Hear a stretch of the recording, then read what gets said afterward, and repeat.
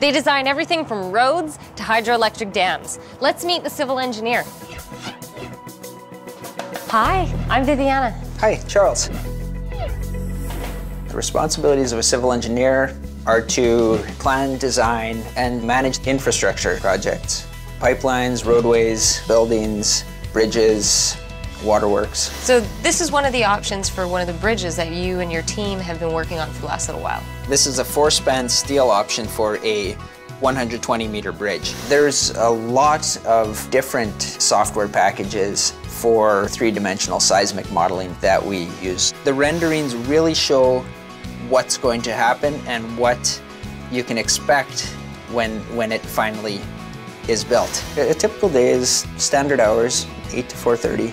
When the construction is happening, we generally will be out there. And the reason we're out there is to make sure the right materials are going in the right place, grades are correct, the sizes are correct, the connections are correct, to make sure what's on the plans is being built.